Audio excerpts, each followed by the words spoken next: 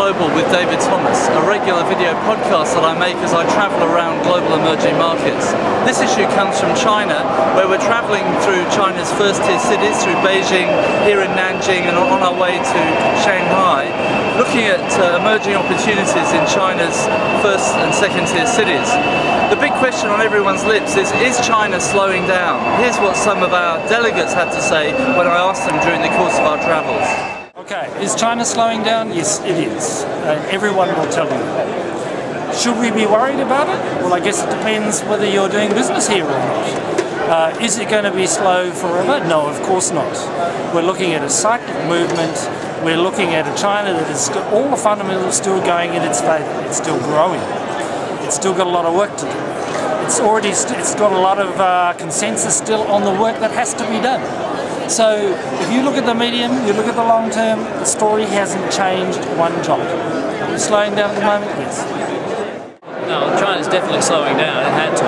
Law of large numbers and a whole lot of other factors, and also sustainability. If you want a thing this size to keep growing, you've got to uh, grow it at the right speed. But uh, that, does that mean disaster? Well, second largest economy in the world, growing at seven and a half, eight percent. How how bad can that be? An increment like that is still pretty prodigious. The other side of it is China's not suddenly going to become, you know, resources and energy light developmental proposition. There's a lot of people out there who don't have a house, a lot of infrastructure to be built, a lot of cities to be built just yet. So I think there's a, a lot to go on here before we have to start worrying about uh, the implications of a, of a China slowdown. So. Well, there's a measured pace, I think, and no, I, I, wouldn't be worried about it. I've heard today it's a structural change, maybe a cyclical change. It doesn't really matter. Uh, it's still going. I wouldn't worry about it. There's no worry about this slowdown because this slowdown is planned and intentional. And there's potential for growth for another 20 years. Just look at the countryside, the rural people, um, which is 700 million uh, large, and are still very low in GDP per capita. And to turn them into wealthy, as wealthy as uh, urban people, it takes 20 years. And the Chinese government is in good control of the economy. And they know what they are doing and they know what is the right thing to do. So I'm confident. The government is confident too. I think China is slowing down in, in, in spots. It's, it's patchy. Um, parts of the industry that we're involved in is, is very slow, residential for instance. But hospitality, resorts and hotels uh, have picked up. Um, I think it's favouring firms who have been here longer, who've got more relationships and more experience. But generally speaking, I don't think there's anything to worry about because um, as one market dies, another grows. It's a great market and it's got a great future. Um, China's growth is stabilising, so it's to a more sustainable level, I think, and, um, and that's an opportunity. It's taking risk out of the proposition, and it's a long-term relationship for Australia to trade with. So it is still a great opportunity, and will continue to be for decades to come. yeah, they've slowed to seven percent growth in GDP. How's that from 12 or 10 or something or other? No, it's really, it's absolutely dead as you can see. Nothing happening. I was in China in late 2012 as one of the leaders of the financial services delegation which formed part of a massive 600 strong mission led by the Premier of Victoria, Ted Baillieu.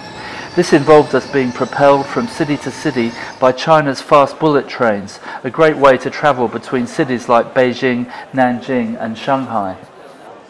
Apart from numerous business meetings, presentations, seminars and business matching activities, we were treated to at least two large-scale whole-of-mission events hosted by the Victorian Government. These included addresses by Ted Baillieu and local government officials, signing ceremonies and a showcase of local culture, dance and music. Here's Ted Baillieu's keynote address at the Oriental Mining Club dinner in Beijing. It is a joy to be here a joy to be amongst those who are committed to doing whatever we can to maximise our economies, both here in China and obviously from our point of view in Victoria.